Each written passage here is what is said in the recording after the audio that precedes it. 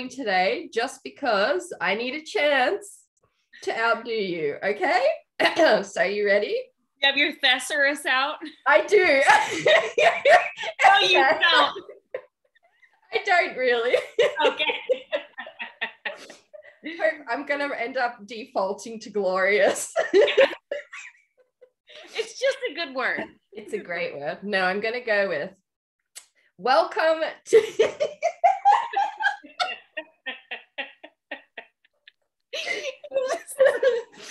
I'm gonna go with this. yes, yeah, I'm gonna surprise you with the word choices. I'm ready. Welcome to another episode of Of the Publishing Persuasion. I am here today with my magnificent, talented, the pirate queen, the Angela Montoya. How are you today, my gorgeous co host? I'm good. That was a great intro, Melanie Schubert. Melanie Schubert, the amazing, the one. Just kidding. Don't forget Glorious. Glorious, the pink queen, Melanie Schubert. Um, no, I'm good. I'm really good. We just had the best time talking to Emily Thiede. So I'm feeling on a just a I'm on a high right now. I feel great. Yeah, and and I'm getting ready to go on a little vacation, so I'm just excited. Yes. Yes, so, I'm on a high as well from that. She's just such a vivacious spirit and it's I don't know, she just belongs on this podcast. You know, like I just literally felt like it was our third co-host today in a way. Do you know what I mean? Like she has this energy that she brings. And I was just like, I could just listen to her. What's that? Am I saying I could just listen to myself all day? I that was the wrong time to make the comparison, but no, good job getting her on because she was amazing. And in particular, it really stands out to me. Watch to the end, listeners, because it really stands out to me what she said, her advice to listeners at the end about kind of like the different stages of the writing journey and being a good friend and mm-hmm. challenging mm-hmm. yourself to be a good friend. I mean, it sounds simple, like growing up, you hear, you know, be what's that saying that, like, you know, I don't. I don't know. I'm waiting. You know, like treat someone the way you would want to be treated. Oh, but there's a better say, ah, it's biblical, I think. Do unto others as you would like them to do unto you. There's my old Sabbath school things coming back to me. But like, but like it's kind of it's so true to like hold yourself accountable to that through this journey, I think. Like, do you know what I mean? Like, I don't know. I got sidetracked with that. No, I, I do. Well, it really, it was so real what she said, and, and not, we're not trying to give spoilers because you have to listen to the whole thing. But one thing that really, I was like, oh, that's true because you do go through these different yeah. waves and layers in this publishing journey. You know, it's you, mm. one day you may make friends with somebody and you know they catch a deal and they're skyrocketing but you're still where you were. And so it, it is this weird dynamic shift that constantly changes. And so it's true. It's being conscious of being a good friend throughout all of the stages. And it does change. It is weird sometimes. There is jealousy but it's never like a i want what she had i want hers or theirs you know it's i i want that too you know so it's hmm. it's this balance and and learning to grow as a person as a friend too i yeah. she she hit it she hit it on, hit it.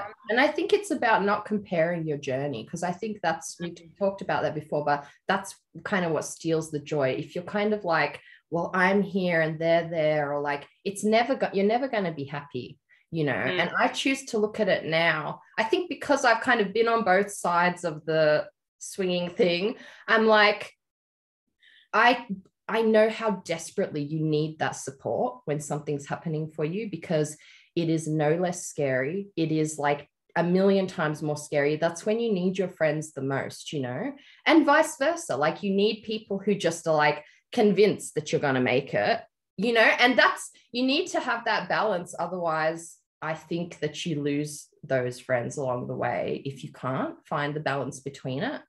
Yeah. Oh, and it oh, is I'm hard. Chills. I'm getting chills all this whole episode. Yeah.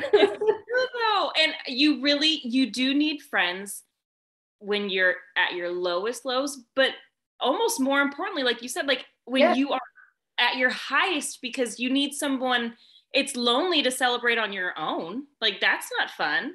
Yeah. And so to have somebody there at your corner that's cheering even louder than you are for yourself is so special and mm. necessary. And it's like I just think of our, you know, our group chat and like literally we could just say we did one thing and we're all like you know, it's like yeah. all the exclamation points. And you just need that. You just need that little boost of serotonin sometimes. Exactly. Exactly. And i think like i would encourage writers who are feeling like you know if they're feeling left behind just to remember that like nobody understands like your writing friends. And you know they have got your back and they're going to cheer for you the loudest like you said over the smallest little things. They're going to cheer so hard. And it's like Emily said, it's it's not like college. You don't all graduate together and go start your jobs at the same time. It's you just can't compare it to something like that. The journey is so twisty and varied for everyone, but what I see is like if you're disciplined and passionate and you just keep going, like it, a lot of our guests, it's taken them like it's 10 years kind of seems to be like from starting writing to actually getting published. It's this big, long, twisty journey. And I think, like, just know that in advance. Just if you're listening, know that in advance, it, it could take that long. But that is not wasted time. That is not empty. Those are your education years. and I already like agree with what she said. There's just stuff that I'm like, oh, I'm so glad I took this journey. I feel like now I'm writing more my voice. You know what I mean? It's just mm-hmm. no, it's it's absolutely true. And I just think of the first book I wrote, and if if that was the book that I sold, it would a disaster. Yeah, it would have been so bad. And you know, so uh, you go through your journey, and it's the journey that you need to be on. Totally. You know or even like on the flip side, I did well sell my first book. I don't know if you call it sell. I got picked up by a small indie press in America. And I was so like I don't regret it now, but looking back, the naivety I had, I had no idea what I was going into and like didn't really know the difference between indie and I was just like somebody wants to publish my first. And like I'm grateful for the part in my journey, but I also, that experience is what made me so stubborn to not rest until I find an agent. Because, yeah, like when it came down to it, it, it came out with more of a fizzle than a bang simply because I was their first book.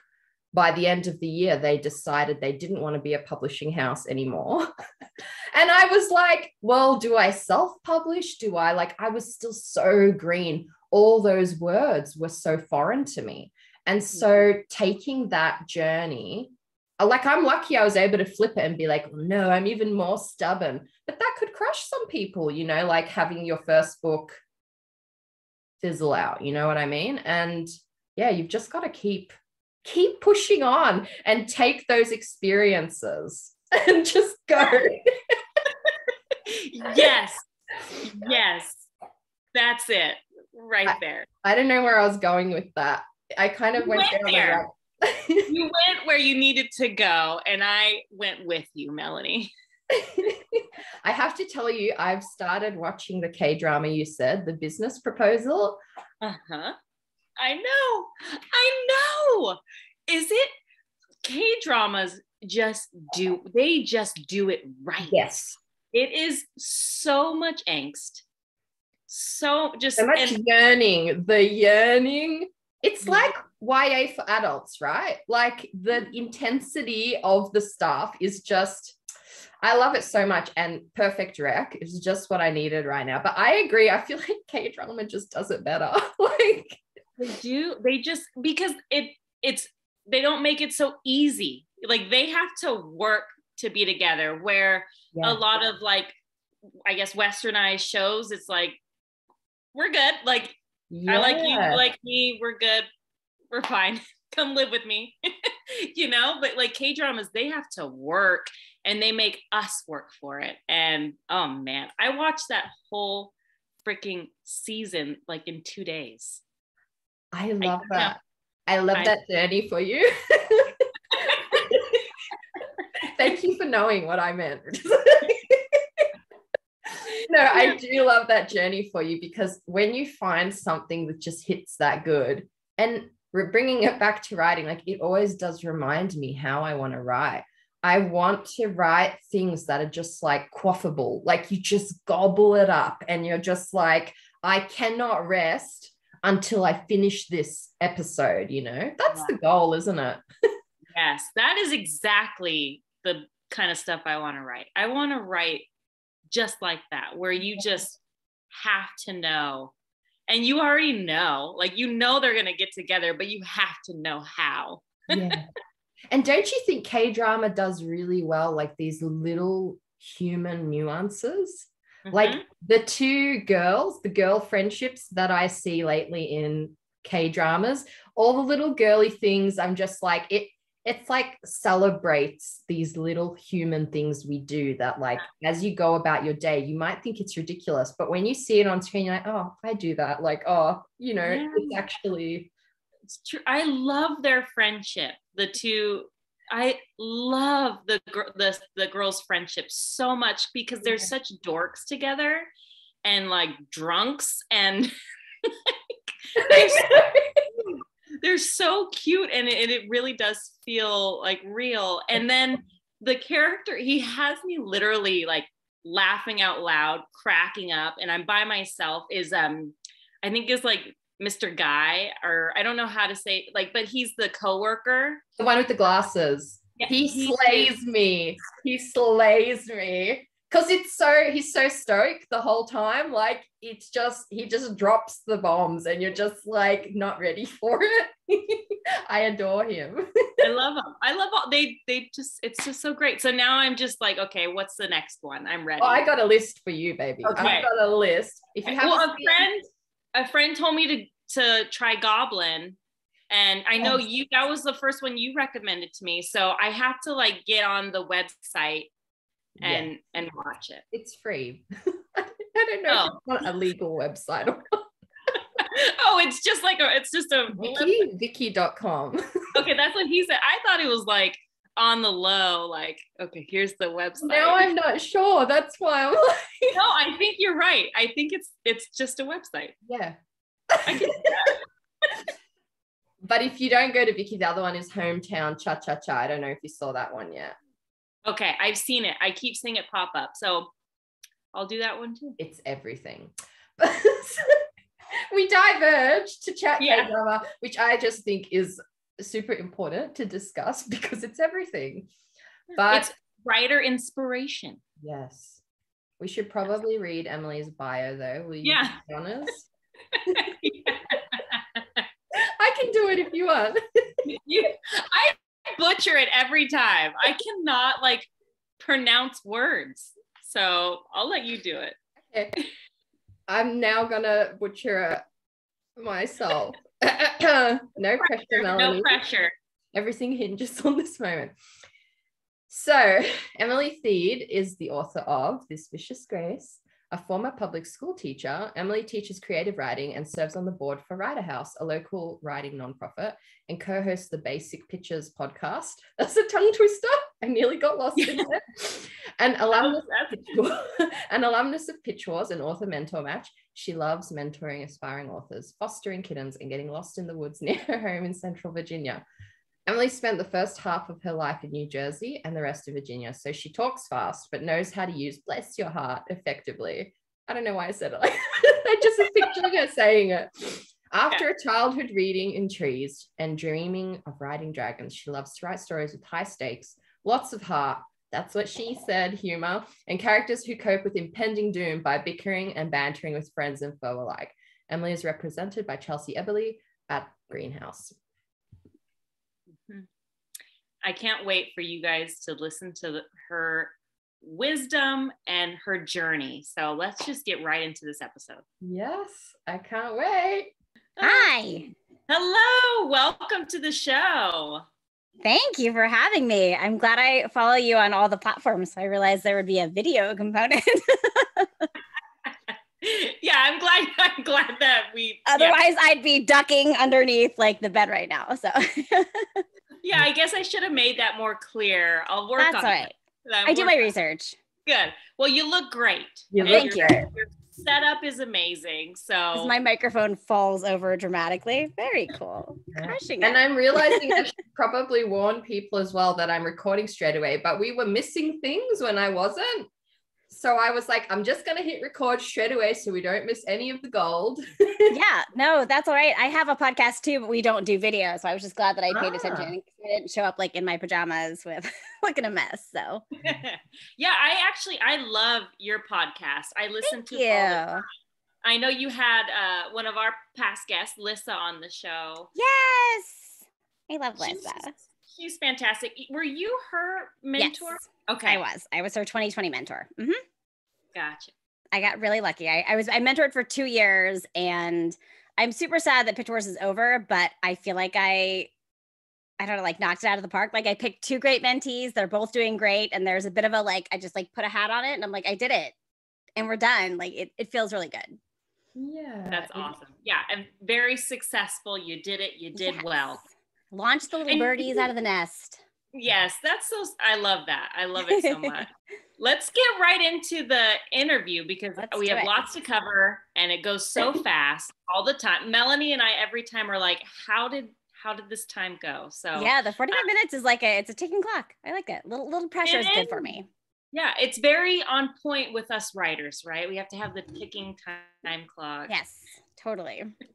I'm just laughing right now because I'm remembering that meme Angela posted about millennials on and I can see myself like how millennials in the Zoom, they're like, mm-hmm, trying to like, you know, just like, yes, I hear you, girl.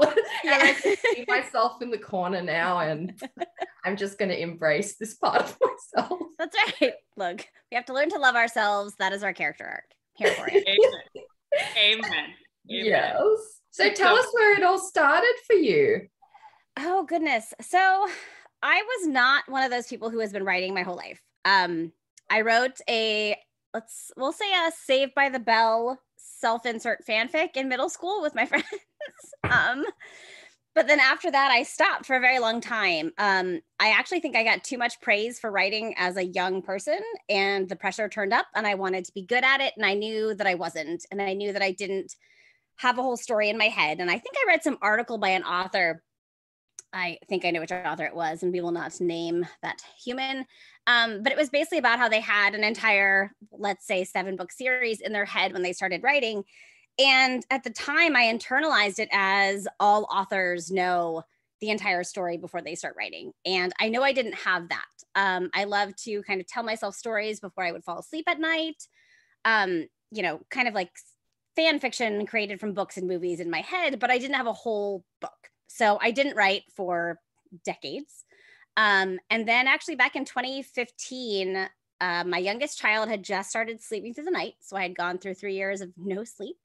And I was like that. Um, there was a TV show at one point where someone like took a pill and it unlocked the 80% of their brain, you know? And so I came off of three and a half, four years of not sleeping. And suddenly I was sleeping again. And I felt like a superhero. Like I had all this brain power I didn't know what to do with. And my mother said, Have you heard of NaNoWriMo, National Novel Writing Month? Because you should try it. You should, you've always talked about writing. Just sit down every day for a month and see what happens. It doesn't have to be good. It's not supposed to be good. It's just a challenge to sit down every day and see what happened. Um, and so I did. I did that in November of 2015. And at the end of the month, I had a book shaped object that was terrible but I had been smart enough to know that I didn't know what I was doing. So I didn't start with a good idea. Like I started with a bad idea. But at the end of 30 days, I had 60,000 words and kind of a plot. And I realized, okay, I can do this. I just can't wait for the idea to show up. So I was hooked. I started writing a better idea. I worked on that through 2016 and 2017, I applied for Author Mentor Match, the mentorship program. Crickets. I think I applied again. Crickets. I think I applied again with the same because they had three or four rounds a year. I got one uh, rejection that was very much like, You're a good writer, but I hate your concept because I think I know where you're going with it. And I realized, oh, I was not setting up this story correctly at all because this mentor had come to the entirely opposite conclusion of where I was going with this speculative science fiction book. So I revamped it, I revised it, I learned how important it is to set reader expectations. Uh, and then I applied to Pitch Wars and I got in in the fall of 2017. Uh, I had an amazing experience in Pitch Wars, met some great people, learned so much from my mentor. Had a lot of people saying like oh you're gonna crush it. You're gonna be a bestseller. This book is so good. And i was like yeah like i did it. Just like knocked out of the park. First time. Woo! Um and then i went into the showcase and fell on my face. I mean it was it was a young adult science fiction kind of dystopian um that was not what was in at that time at all and the first few hours of the showcase i sat on my couch while you know someone got a request and someone else got a request and then 10 people got requests and someone else got 20 requests and it just kept going up and up and up and nothing was happening nothing just crickets. And my mentor was like it's okay it's okay like maybe there's a glitch maybe they're busy maybe they're sleeping um, and back in 2017 the agent showcase was all visible to everyone so the entire, and that was like a few years after Tomi Adeyemi oh blew up. Like, I mean, everyone in publishing was watching in real time as I metaphorically got on stage and realized I had no clothes on. And it was devastating. I mean, it was just crushing. Um, I remember going to the writing nonprofit where I volunteered the next morning, sitting, literally did not turn the lights on. I was the only person there, left the lights off, very dramatic YA mood, sat there at the desk and cried because I had thought I was going to be a star and I was just devastated. I eventually got a few requests from really good agents who said really nice things. I picked myself up. My friends kind of helped me dust myself off. I queried that book. I think I sent over 100 queries. I spent a year doing it no luck. Um, in the next few months, I started writing a new book, another YA science fiction. I applied to Author Mentor Match again. This time I got in. I was like, all right, cool, that's fine. My little hiccup, I got it. Um, you know, it took me a while to finish revising that book, started querying that one again, no luck. Um, and so that brings us to early 2019. And I realized my journey wasn't the longest, but it was uh really intense. You know, it was like a decade's worth of rejection crammed into two years and very public. And I think at that point, I thought, this isn't fun anymore. Like, this is torture. And I mm-hmm. was so happy for my friends. I was thrilled to be friends with people that were succeeding so hugely and so publicly. And I loved being a part of that experience. But I thought, I need to either just be content being the friend of writers or I need to find some joy in it because this is no longer fun. This is not healthy. This is not good for me. And so I decided to write this ridiculous book that, like, I didn't even know what to do with it. It was supposed to be sci-fi, but I knew it couldn't be sci-fi, so I tried to like make it into fantasy. Um, and I started drafting the book that that became my my debut. And it was just for me, it was just a way to refine my joy, to write everything I wanted to, to not think about the the market or what people wanted. And really, as I started writing it, unfortunately, I fell in love with it, and I was like, oh no, now I have to make it marketable and see what happens. Um, so yeah, I queried that in fall of 2019, and um, my now agent actually. This is like a super long monologue. Sorry. Um, no. My now agent was she was an editor at uh, a big five publishing house. And I had a friend who messaged me and said, Hey, this editor at this big five publishing house is switching to agenting.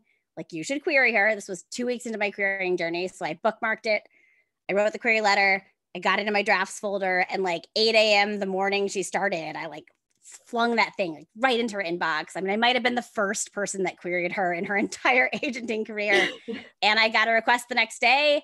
She emailed me a week later saying she wanted to have a call, and you know, the rest is history. So, so that's the short version, the long version. that was uh, there was so much to unpack there, and so much that's relatable. I I can totally relate to your pitch wars experience, and like I think that a lot of the pressure that comes with that is for months and months. You have people telling you your book is amazing. It's going to do amazing. And it is a very public platform to fall on your face. And but it's not really falling on your face that's yeah, what i realized it just feels it, like it it certainly feels like it and it's yeah it's a lot it's very condensed very mm-hmm. i agree it's like 10 years of pressure over yeah. two years so and you've seen people launch their careers overnight and so yeah. you think it could be me and every year i get out there and i'm like all right everyone like dream big but just recognize that that's not the majority. And every year I hear, I can just see people going, yeah, yeah, yeah, totally, yeah. And then two months later, they're like, I should have listened. I'm, like, I'm sorry. It's not the, it wasn't the program's fault. It's just, yeah. I think to be a writer, like I always say, in order like to be a politician, you have to be like a bit of a narcissist because you have to think that you're so great that you should run for office. And I think writers the same way. Like we're all insecure bundles of anxiety, but you have to have a little streak of arrogance because otherwise, why would you attempt this ridiculous, impossible dream? And so, yeah, part of us always thinks we're going to be the one, and it hurts when you're not. It just does. Mm. It, it, yeah, I I hear you. I hear you. But it's funny because I was just thinking this today that you really do have to have your own back and be like, no, bitch, you're good. Like you yeah. and and it, it has to be a constant stream of like affirmations to yourself because at the end of the day, if you're like, no, like I really can't write, then there's there's no point. So you have to really believe in yourself and in like the highest way of like mm-hmm. no i got this story. People need to hear it or read it and and put yourself out there. And if you kind of don't learn to have thick skin as well because it's gonna be out there and not everybody is going to love it like you assume um, you know it's just all part of this like wild journey. And i think pitch wars, author mentorship, author mentor match, querying, you know, it's like it's all just building and helping you develop. And I think we've talked about this yeah. before. It's like it's all part of the game. And I just I know this is kind of funny, but um, I just watched J Lo um, like give her like acceptance speech on MTV. You know, she won like I don't know lifetime achievement award. Yeah, was like thanking all the people who said no. Mm-hmm. And I was like, damn, that's good. Oh, I know, it's true. Yeah. Yes. It's hard to hear. And I think, you know, I I struggle because I remember being in that position. And if me now went back in time and told me of 2018, like, you're going to be glad you got rejected with these books, you're going to be glad that they died in the career trenches, I would have punched myself in the face. but now I'm like, I am, I am glad those weren't the right books. They felt important and they were important and I love them, but they weren't the book and I wasn't the writer I needed to be. And I think if my first book had succeeded, I don't think I would have become the kind of author that I want to be. And I don't think I would have had the resilience that I have now. Whereas now I look at this book and I'm like, I love this book with all my heart and soul to the point where I kind of don't care if people like it. I want them to. Professionally, I do. But if my book flopped tomorrow and no one ever read it again, I would be sad professionally, but I would be very happy as an artist because I really, really love this book. I wrote it for myself and I love it. And it's the best I could make it. And my previous books existed to help this book come into existence. And like, I, again, 2018 me would hate 2022 me, but it's the truth. So I'm content with that. Uh, I love it. I got chills with you just saying that. Like, I'm proud of the 2020 you, 2022 yeah. you. I don't even know what She's been through a lot. yeah. Well, can you tell us what this vicious grace is about? Oh, good question. My book comes out in three weeks and I still don't know how to pitch it. Okay. So um this vicious grace is a, a YA fantasy that takes place in an Amalfi Coast inspired world where Alessa is chosen by the gods to save her island from a sort of recurrent apocalypse that comes once every generation. And the way it works is that she is given this gift where her power alone doesn't do anything. She has to magnify a magical partner's gift. And unfortunately for her, her first three attempts to pick a magical partner ended in them dying as soon as she touched them. So when we meet her at the beginning of this vicious grace, uh, people are really starting to wonder whether the chosen one was poorly chosen and whether or not they would be better off, you know, unaliving her so that they can get a better one. And she's not quite ready to give up on her mission or herself. So she ventures out and she finds a bodyguard of her own who is a bit of a an outcast and a misfit named Dante. And she recruits him to come back and just keep her alive long enough for her to try one more time. Um, but Dante has some really dark secrets of his own. And he might be the person who can help her figure out her gift, or he might be the one who can take her out once and for all. I think I did okay. you did great. It's a lot of publishing professionals worked very hard to, to craft a pitch that I still can't say verbatim, but that's okay. no, mm-hmm. I want.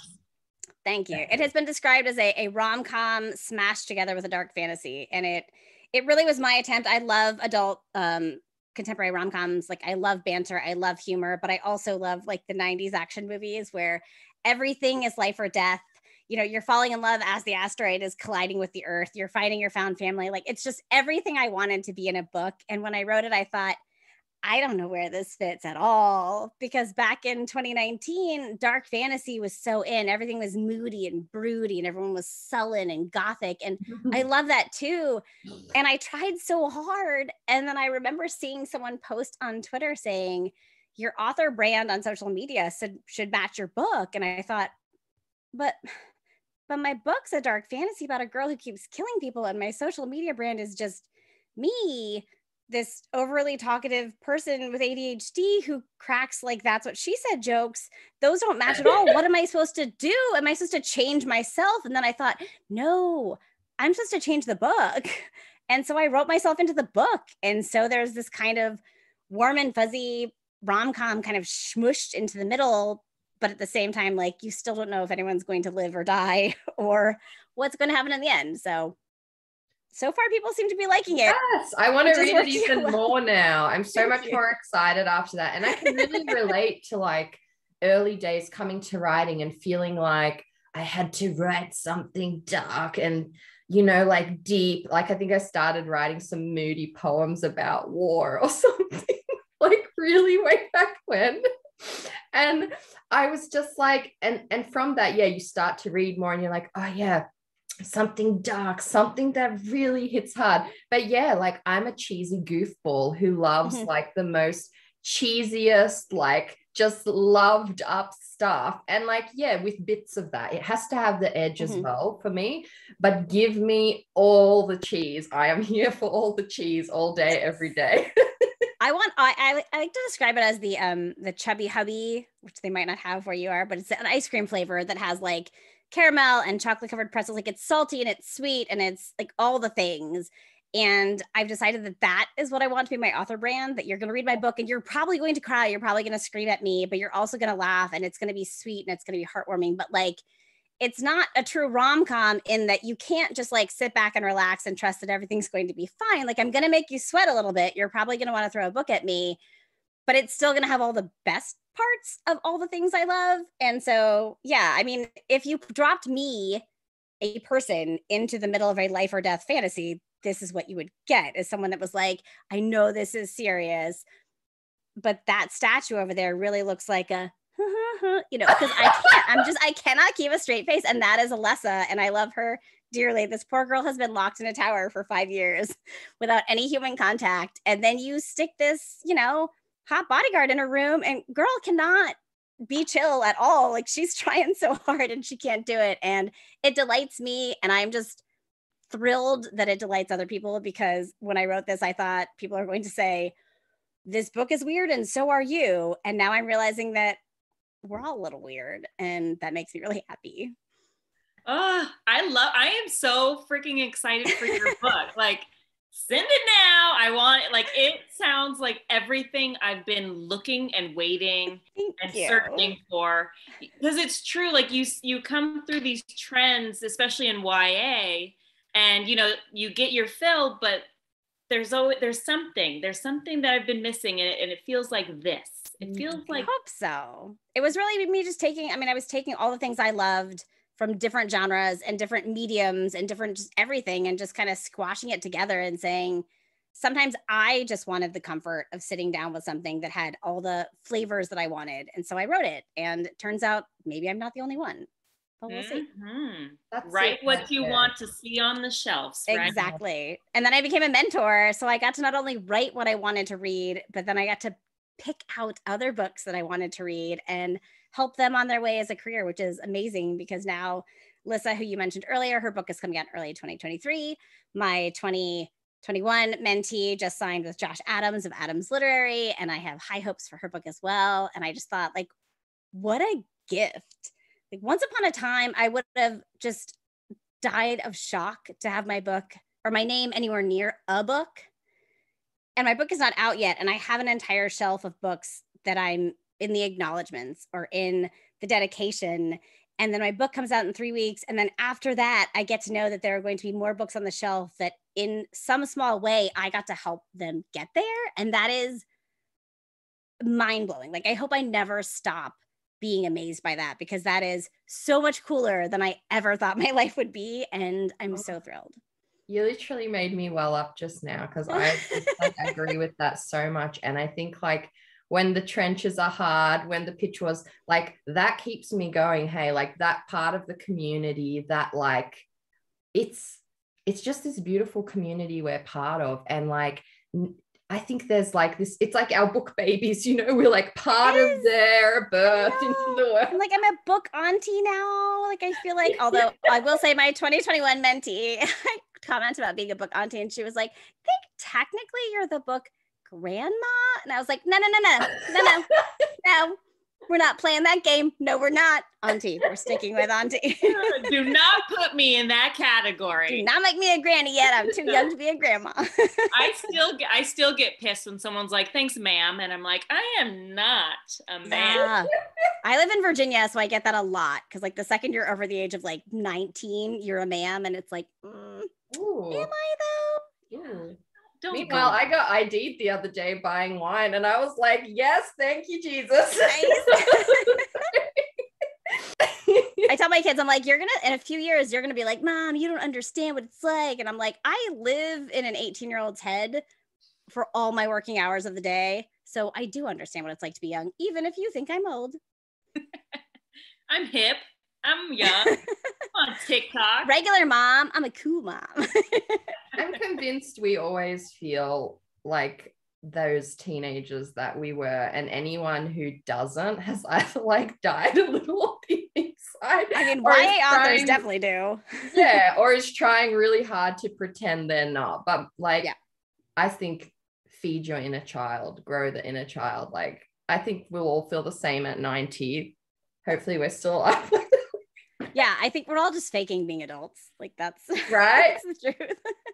100% all the time.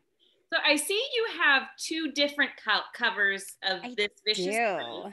So can you explain a little bit? Is one the UK version? Yeah. So this is the US version, um, which Yes. is Yes. stunning and I love it. I did not, I had no idea how they were going to come up with a dark fantasy rom com Italy colorful book cover. Um, but Carrie at Wednesday Books is an absolute genius and I love it. Um, and then this is my UK cover. Uh, which is Mhm. also gorgeous and completely different. So different. I com- the color schemes the only thing that they have in common is the lemons which i love um and i am limited in what i can say but there will be other well there will be other international covers coming soon i know i've seen uh, and i've shared a german cover i don't think i've seen it but there are other there are other there are other covers that will exist. People will find out about soonish so i'm really excited. I have one more like the first author copy finished author copy I received is one I cannot share or say what it is. And that has been killing me for about six weeks now. That I'm like, I have a final copy of my book and it is tucked away so that it will not accidentally show up in the background of any video. and I was like, what kind of cruelty is this for an author to be like, my baby? And now you go in a box. But yes, I look forward to sharing all of them with the world soon. That is the cruelty of publishing, is it It not? is. Everything is a secret. Everything. Like we're gonna be waiting pros by the end of this. Oh my like, gosh, yes. so what three are books you? left, I feel like I now finally I'm not as compelled to tell secrets because I feel like all right, like uh, it's pretty soon things are going to come out. So it's very calming to be like, all right, we're in the home stretch now. People will know stuff soon. So we'll see. Yeah. How are you feeling with it being so close around the corner? Like the highs, the lows, how's it Oh, all? gosh. Um, the sequel is trying to kill me, and that has, for better or worse, distracted me from a lot of the debut pressure. Um, because I was supposed to turn it in a few months ago, and instead I'm turning it in tomorrow. It's fine, and that's just the first draft. It's fine. um, um, yeah, there's a weird balance of I'm thrilled that people are liking book two. You know, we've had, I think my publisher has sent out, I think hundreds. They've been amazing about sending out advanced reader copies, but I at this, point I think I have 500 plus reviews on Goodreads. I haven't read them, but they exist, um, which is amazing. But it's like every day people tag me in reviews saying I loved it and I'm excited about the sequel, and I'm like, that's such a nice thing to say, and also so scary while I'm writing the sequel, and it's not being kind to me. Um, so there's a lot of pressure on the sequel. And oddly enough, I've just started waking up nervous at 4 a.m. every day, and I don't know why. Because I keep telling myself, like, the book's already written. Like, nothing happens in three weeks. Mm. Like, they get mailed out, but nothing happens. I don't have to do anything. It's not like I have to get on stage and do a dance or something. So I don't know why, but it's like my my brain and my body are not communicating about the fact that all that will happen in three weeks is just I will wake up and social media will exist. That's it. Um, but yeah, so I'm But that's nervous. scary. I don't know why. Yeah. the social media that is like this probably the scary part because social media is like a bit of a beast of burden these days like it's either gonna be Yeah. like totally epic you you log on and it's gonna be everything or it's gonna like rip you to shreds like you don't know depending on the day you know Like, yeah. So far, people have been phenomenal and considerate in that when I get mm-hmm. tagged in things, they're positive. Yeah That doesn't mean there isn't negative stuff out there, but they haven't tagged me, to which I say, thank you, I love you. So, at least in terms of like what has been thrown at me, it's all been really good, which is fantastic. Um, but yes, there is a level of like once it goes out into the wider world and it's not just people that are really seeking out advanced copies, people who are reviewing, people who are bloggers and influencers, then it's just everybody. I think the the rules of etiquette start to fall apart probably pretty quickly. so we'll see. Good times. Now, are you ever tempted to go on Goodreads and sneak in there, or are you just like, no, we're not even? I used to. There were a few times like earlier on where occasionally like I would have a glass of wine and be like, I'll just filter by the five stars. And honestly, it was wonderful. I mean, it was I would cry with happiness. People were so kind. I loved seeing that people recognize the things that I really worked so hard on.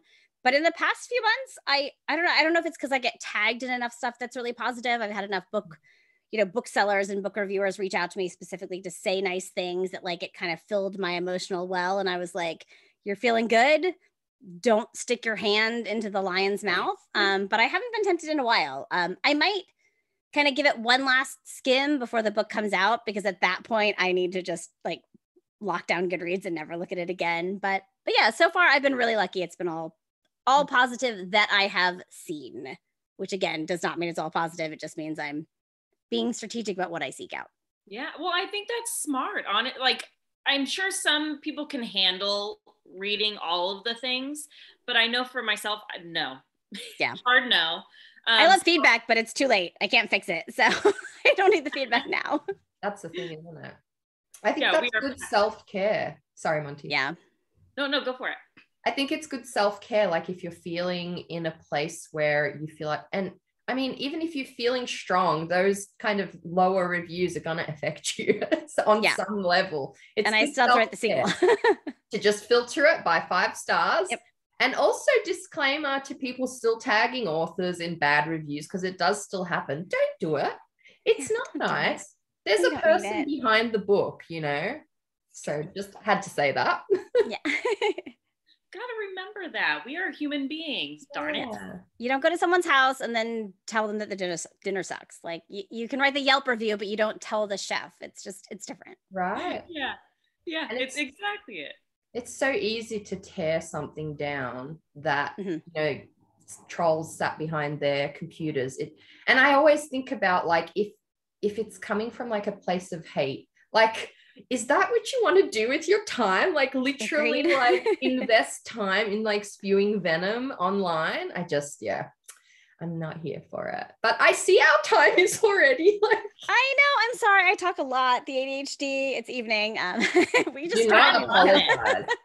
No, I everything you've said, and you've pretty much answered a lot of the things that we were hoping to ask. So, I mean, honestly, everything you have been saying, I've just been taking it in, and just like I know, I know our listeners are really going to resonate with a lot of the stuff you said because we all go through this, and you know, it's it's about the journey and Mhm. and meeting people along the way, and you know, building books. And I love that not only are you building your own books but you're helping in the community as well and it's just such it's so special and you know it's it's really fun to watch so Thank you. thank you for being a mentor as well yeah. as oh, it's been a joy. It's so fun. I sink my little claws into my mentees. Like, listen, Sophie, they cannot get rid of me. Hopefully, they don't want to, but like, it's like you thought you were just getting someone to critique your book, and now I'm like in their DMs every night, being like, "Want to watch a TV show? Let's talk about this movie. Let's talk about our books." But it's been a real delight. It's been so much fun. Oh i mm-hmm. love that. Now is there any special advice you would give? Well let's just go with just authors just people starting out in this wild world. I would say find your people and put conscious effort into being the kind of writer friend that you want to have. Mm. And that changes throughout the process so many times. And I know a lot of times that I've thought that I was being a good friend while I was querying with my friends who were querying.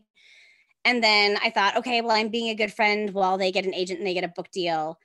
Um, but then it's a different experience to be a good friend when you're the person who gets an agent and gets a book deal and your friend doesn't. And it's a different thing to be a good friend to someone who suddenly you feel like their fame is skyrocketing. Like it just, publishing is never a clear straight line up, and everyone's journeys are going to go up and down. And it is so rewarding when you genuinely can find the joy for your friends when they are doing great. I mean, it really, really is. I know it sounds cheesy, but I have been fortunate enough to have friends who became bestsellers before I had a book deal. And yeah, sure, I was jealous, but I let myself be truly happy for them.